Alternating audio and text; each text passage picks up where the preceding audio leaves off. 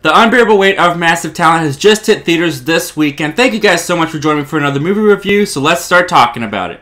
So with the unbearable weight of massive talent, you got Nicolas Cage playing Nicolas Cage. He is invited to a superfan's birthday party played by Pedro Pascal, but as he is about to arrive to the party, he gets intercepted by the CIA who recruit him to investigate Pedro Pascal, who they believe is up to no good. Alright, so when I say Pedro Pascal, I can see how that can be confusing. Pedro Pascal is not playing himself, but Nicolas Cage is playing himself in this movie. And you really gotta hand it to Nicolas Cage in this movie because an actor to play themselves in a movie is easier said than done. But what works so well with Unbearable Weight of Massive Talent is that Nicolas Cage kind of feels like he doesn't hold back. He's very aware of the public image that people have of him because let's face it, Nicolas Cage is one of those actors that you look at and you just wonder, have they ever said no to a script? He just seems to do so much stuff and a lot of times the stuff isn't the best quality, but nonetheless he does it anyways. And Nicolas Cage in this movie addresses that. There are tons of references to Nicolas Cage's past movies, his work, and the real life public perception of him that they do not shy away from. And it really works to the movie's benefit to get you to really buy into the fact that this is Nicolas Cage. And what's great about that is that this movie simultaneously is a commentary on Nicolas Cage and his career, as well as an homage and celebration of his career up until this point. And they really hammer that point in with Pedro Pascal Pascal playing this super fan of Nicolas Cage. And Pedro Pascal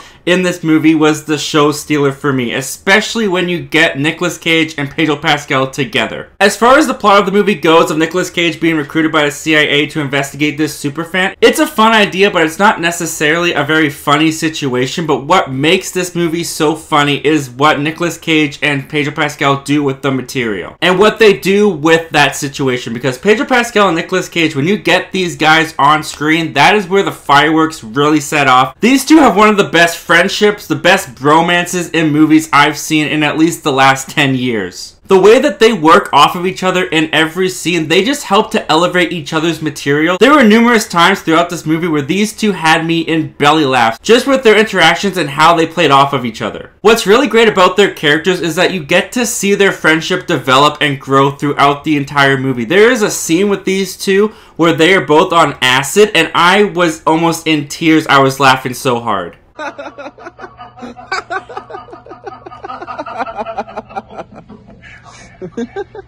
On top of this being a buddy comedy with Nicolas Cage and Pedro Pascal, there's also an action comedy aspect to this movie, and the action in this movie was also really enjoyable, really fun. But much like the movie, it doesn't take itself too seriously. But the movie also has a lot of heart to it that I was not expecting when I walked into it. Because Nicolas Cage, he's kind of a workaholic. His career and the movies that he's made have taken up a lot of his time. And for that, he's kind of neglected his family. So there's a real family dynamic in this movie. That amongst all the wackiness and crazy and silliness, allows this movie to also have a pretty strong emotional punch. Even though the family relationship in this movie doesn't necessarily reflect Nicolas Cage's family situation in real life, it really just helps to ground this movie in more of a reality. Real quick, before I get to my final recommendation for this movie, guys, we are almost at a thousand subscribers. I cannot thank you guys enough for that. That blows my mind. I did not think we'd get here this soon. So if you're new here and you like talking all things movies, TV, and all things entertainment, why don't you go on and click that subscribe button, click that like button, click that notification bell, all that YouTube stuff.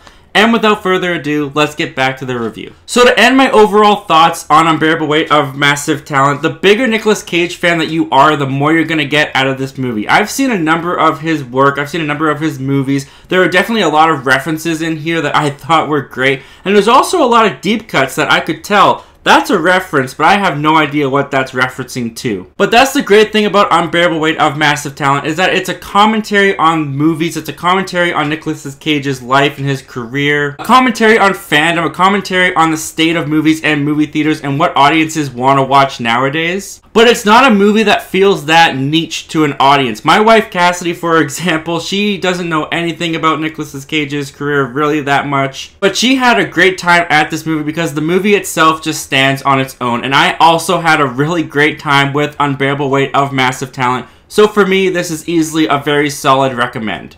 But what did you guys think of Unbearable Weight of Massive Talent? And what is your favorite Nicolas Cage performance? Comment down below, let me know. I want to know all your thoughts and opinions about this movie. As always, guys, thank you so much for clicking on this video and checking out my channel. And I hope to talk to you guys again real soon.